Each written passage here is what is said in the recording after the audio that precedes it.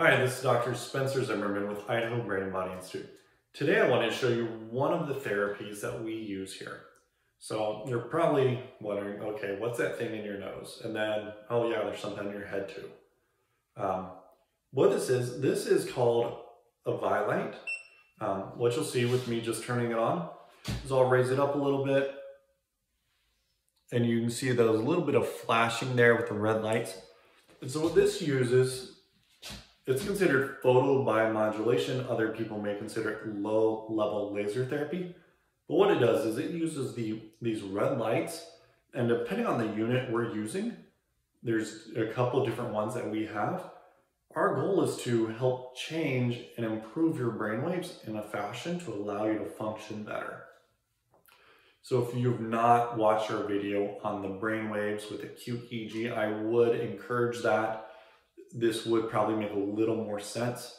But this is one of the therapies that we use. And so you just wear it on your head, you know, no pain, no discomfort other than maybe a little bit in your nose, okay? It goes for about 20 to 25 minutes.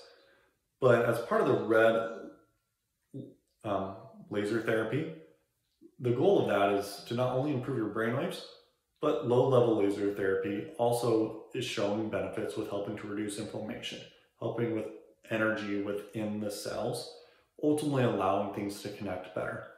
This unit specifically is being researched heavily for things such as Alzheimer's and traumatic brain injury.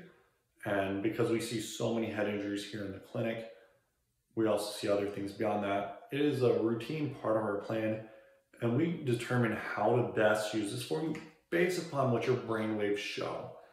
So once again, like most of our other therapies, if you've seen our videos, we do not just carte blanche things on people because we have these different tools here in the office. We give you specifically what you need based upon your testing. And so you may wonder, what do I need? Well, that is done with the initial testing. And the reason why we give it to you that way is because you want to ask your mechanic what's wrong with your car before they've seen it. They wouldn't be able to give you an accurate description and a plan of how to move forward, even pricing. And we're the same way here. Even if you come in with a concussion, we still have to figure out exactly what is wrong and what is causing you to have those issues. Same thing with vertigo or dizziness. And once we identify those, using the testing that we have here, we create a plan.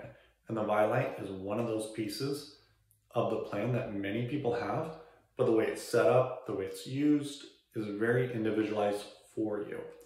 So if you found this video useful, please comment below, tag someone you believe would benefit, share it, or give us a like.